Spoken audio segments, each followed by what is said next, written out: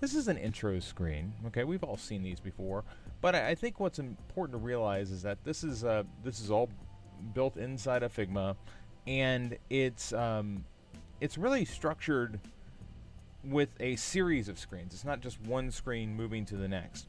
So I want to show you show you what what it does first, and then what we'll do is we'll dig under the hood and show you exactly how it's put together. So that animation comes in. We then click, and these things are all moving, and then we can close this, and it moves back. It brings us back to this uh, initial sign-in screen. And this basically loops around and back. Simple stuff, right? But a lot of people have asked, okay, so how are you making those animations happen if it's going from one screen to the next? And that's the trick. That's that's really where people typ typically get lost. This is actually five screens, okay? And the five screens are really anchored on timing. Some of this is taking advantage of new tools that have recently come out with Figma. So if I if I look at this first page, which which is just called Home, and please forgive me, uh, this is a this is a bit rough. I have not properly named some of my frames here, this first first screen just has a circle, um, and let's close these so that we can more easily see exactly what's going on. So we have this circle, which is a, and then we have this uh, little puppy dog shape.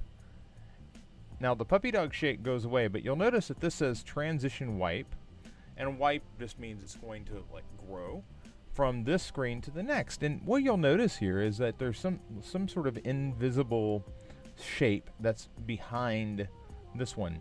And if we twist that open, you'll see that the transition is much bigger than the actual frame that it's in. That's because if you were to that's because this circle is called transition wipe and it's going to smart animate to this really square with rounded corners but it's going to transition from one screen to the next. And that's what's happening when we when that occurs.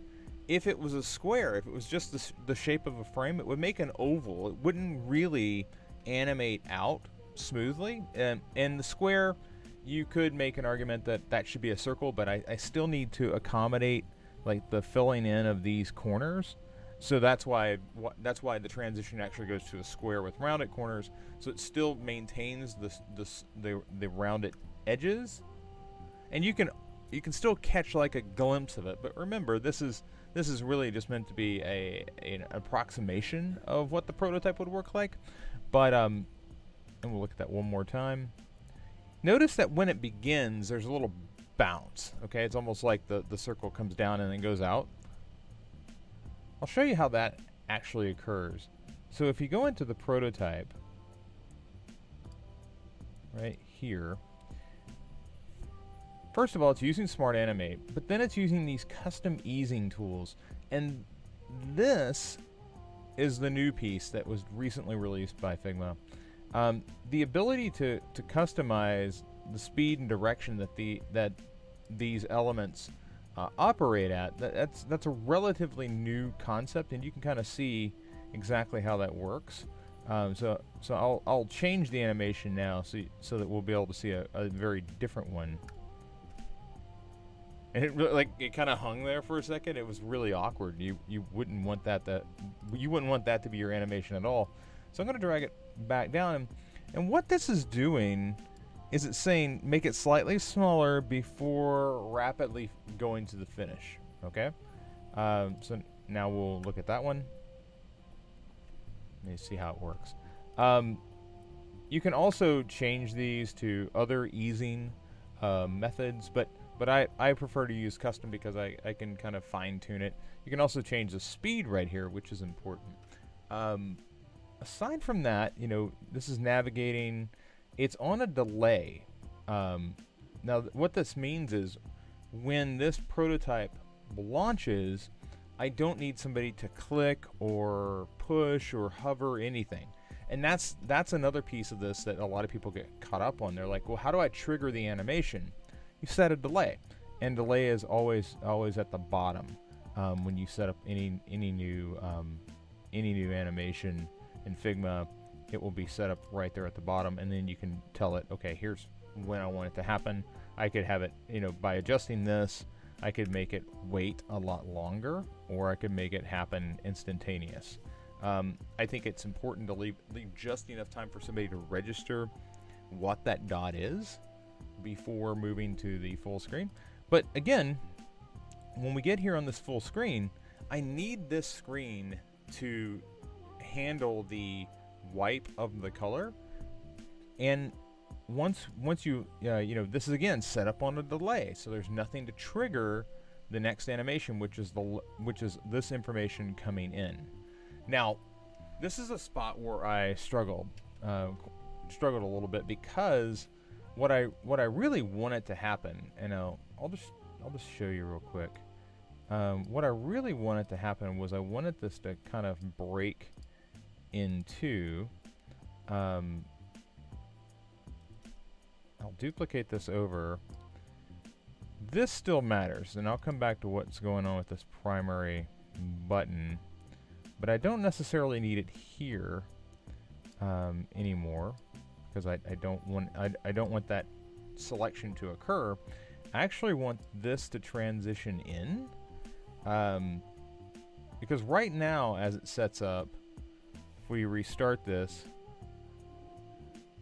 you'll see that that that that um, status bar kind of lowers in and that bugged me that bugged me last night when I was working on this so what I really want to do is I want to delete that and I just want this this to fade in separate from the preppy puppy. So what I'll do is I'll I'll move this over to the next screen, and this will be again another delay. I'll make this delay happen relatively quick. Um, I will say move in, and I'm gonna have it. Actually, I'm not gonna say move in. I'm just gonna have it dissolve. I'm just gonna have it kind of fade in, um, and we'll just say ease in. It'll just kind of do a simple fade um, it will navigate over to here and it will happen automatically and I don't want it to happen that slowly but what I want to have occur here is I want this status bar to appear after this information has lowered down. So again we're refining the animation alright so let's refresh. Loads in lowers down fades in okay? Keep in mind each step along the way, I'm, I'm entering into a new frame. Not all animations that you do will be uh, will, will need multiple frames like this, but if it has a lot of individual parts that are trying to do different things, and it's set up on delays, you'll probably need to break it up. So you need to we need to start thinking about this in terms of timing and less about you know one frame one, frame two, frame three. Okay. So these frames are being constructed much like you would um, any sort of any sort of moving picture. Okay. Um, the next thing we do here is we have so now that we've we've made it down here and this this is is um, is fading in. We need we need this sign in button to to do something. So I've got it. I've got this set up to while pressed because again, this is a, a phone. While pressed, I, I, you know I don't want to tap or drag or whatever. I want it to I want it to change to this primary button. So this goes from white to this dark green. All right. Now, what's important here is where the overlay shows up, because this is an overlay. It's not a page that's off, you know, down here. This, um, if it's centered, it'll just appear just kind of center in the screen, and that's less than ideal because you'll you'll see what happens. It's that's not lined up. So what you have to do is you have to use this manual, and manual puts it right over. Now you could move it around if you wanted to. I wouldn't advise doing that. You want it to appear right over the original button. So that that occurs, and you can you know you're pressing, you pull up. You know if you press, it will go through. All right. So now we've moved on to another part of the animation that we haven't really talked about yet. But if you click, that you know, you can press it, and if you move your finger, it won't trigger. And that's that's it's operating much as a phone typically would. But we want this to actually trigger something, so this is where I use an on click or on tap because it's a phone. Um, on tap takes you over to a new page, so we're going to navigate over. This is going to smart animate, and what smart animate is doing is basically saying, "Hey, this preppy puppy um, logo, it started here, and I want it to move up, and that's why you get the movement here." And then the other information here, this um, this underline, I believe that it is all migrating. Um, well, no, it's it's actually just appearing. Uh, let's click that. Yeah, so Preppy Puppy moves up, and then, that that line work for the username and password that just kind of fades in. All right. Um, I believe this is doing the same. So this is notice the timing of this. Okay, this is important. So I click sign in. That moves up. This keyboard comes up somehow, and notice the bounce. That's another little little intricacy. Um, let's close that again. Let's come back over because I want to I want to study this for just a second. So here, this animation is it's happening after a delay. After delay, bring in the keyboard and notice that the keyboard definitely has a bounce on both sides. And this is important the keyboard is actually already on the screen and that's why it's moving all right? The, the reason it's already on the screen is for smart animate to work this content has to be present in the other frame. The question is where is the content at if you turn off clip content on this screen this um, initial screen you'll see the keyboard is just below the actual frame so there is a starting point for it to move in, and without that, it would just kind of appear. There would be nothing. There would be nowhere to move from. So this this is where we're using clip content, and a lot of times people, um, I've, I've gotten questions about clip content um, because oftentimes we can accidentally have these things appear outside of a frame, and it, it's sometimes it's confusing. Um, to get this to work, I had to, had to actually like drag the the uh, I, iPhone keyboard into place, and that was a that was um that was that was hard to do be- because obviously the way um, the way this is set up, anytime that we have uh, every anytime you have I- information that goes off the frame, it, it wants to decouple it. You have to physically drag it back in to this frame. So um, you know, in this case, in this case, um, right now, as it stands, if I drag this up, it looks like it's it looks like it's outside of the frame. I'm going to turn up, turn clip content back off. So clip content's on. If I were to if I were to drag this out, you see now it now it's not connected. And if we look at the prototype now, instead of it instead of it animating in it's just now kind of appearing. And that's that's not what we want at all. We want we want that to to really have that spring action as if it's coming up from the bottom. And it, that only happens if that keyboard which is right here is associated with the page so we come back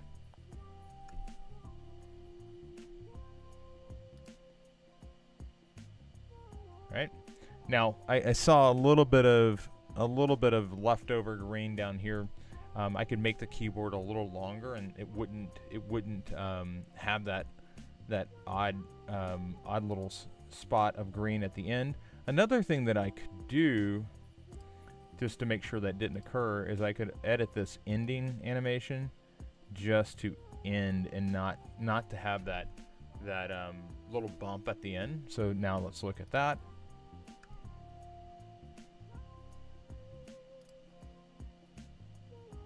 and now it just kind of comes in. So um, this is the ideal movement for a keyboard.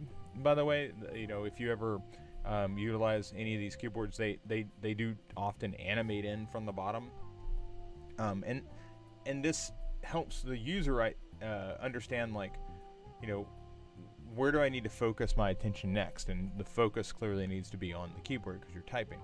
Um, and then the final piece here is making sure that we have a way to loop back around, and that's what this X is all about. Fun fact, that X is also already present. I've just ha had it, it's set here in green, but instead of having it animate in, I wanted it to dissolve in, so I just changed the color from green to white.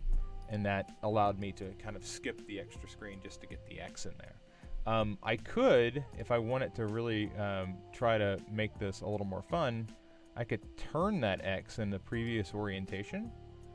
So um, it looks like that X is just slightly off kilter. Um, it's not quite a square, but I'll do that. And what we should see now is like when it comes in, it will twist into place. And there you are. So minor minor things uh, to get this animation working properly, but it's definitely something that I want to wanted to share. Another thing I wanted to point out was that I, I wasn't going through creating everything for the screen.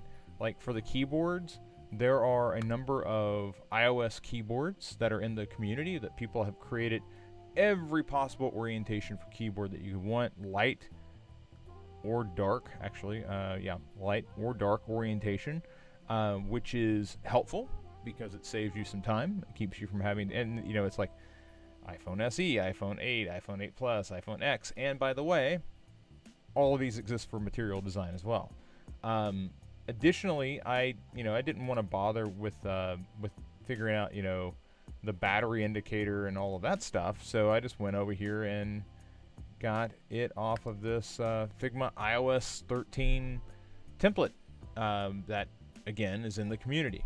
So you should not, you, know, that's one thing I should have done. I should have just grabbed that plus right there instead of drawing one, because my, mine's imperfect. Um, but the, the thing that I want you to do, the thing I want you to realize is that the community is full of resources. You shouldn't ever really start creating, uh, you shouldn't create everything from scratch. You just it's not necessary. But you also should realize that that to get these things to um, to get these things to animate in a way that's going to really mimic what you would find in a professional product, it's not just going to be one screen, two screens, done. It's typically going to be a, a process. And that process, as you can see, we used delays, we used um, Smart Animate. We used the custom easing controls that were just released. We used community assets. These things all come into play. Okay, so um, I hope that was helpful. Um, and uh, yeah, I think we can move on. Uh, so looks like Couchbot's fired, which is good. And uh, let's see here.